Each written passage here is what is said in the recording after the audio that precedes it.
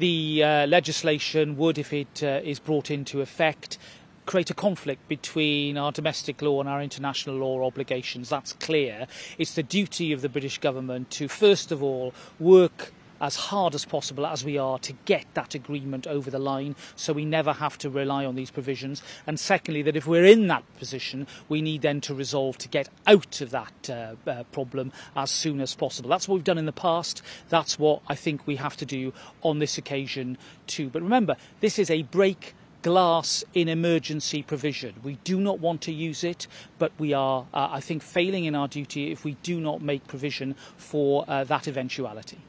Well, look, I, I, believe that we will resolve this issue, and uh, I think talking about what might happen actually isn't that helpful. What I do know is that the government collectively is absolutely resolved to get the deal, but also to prepare for contingency, and that is why uh, we are uh, uh doing this in the bill.